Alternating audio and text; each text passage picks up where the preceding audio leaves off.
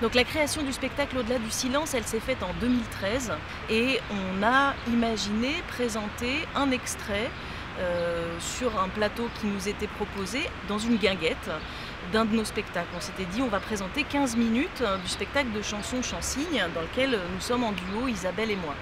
Et puis la programmatrice nous a dit euh, désolé mais de la proposition sur des, des, spectacles de musique, on en a trop. Qu'est-ce qu'on voit en regardant cette éponge?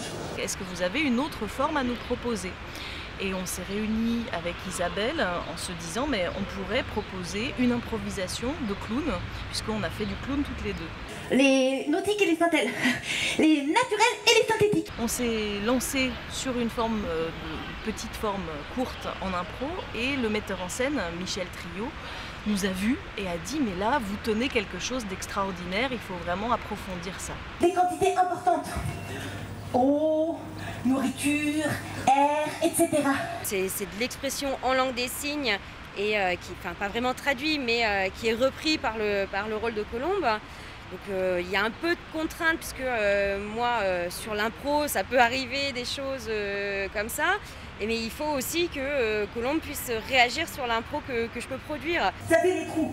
Y y il y a beaucoup de trous mais les éponges, elles peuvent vivre jusqu'à 1000 ans. C'est une rencontre à travers le miroir. Et on s'est dit on va utiliser euh, le clown, mais le clown de théâtre, pas le clown de cirque, donc un genre un peu particulier qui permet de pouvoir aborder tous les thèmes de façon euh, assez naïve, mais qui euh, va là où on peut gratter, où sous la surface il y a des choses profondes, et on va rentrer dans le domaine des ombres, on peut rentrer dans les failles et aller toucher des parties extrêmement sensibles et en rire. Il faut protéger les éponges, parce que sur la planète, imaginez, il y a des océans. Si les éponges n'étaient pas là, les océans déborderaient. Par rapport au, clown, quand je revais ce personnage, il euh, n'y a pas de préparation. On connaît le, point d'arrivée, mais le chemin est à faire. Donc euh, ça fait vraiment plaisir d'être en binôme avec des langues différentes sur euh, justement le parcours de ce chemin.